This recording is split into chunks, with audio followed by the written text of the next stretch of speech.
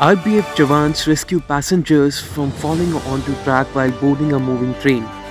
The incident happened at Vasai railway station in Maharashtra on Sunday, where a passenger trying to board a moving train lost balance and almost slid down to the tracks.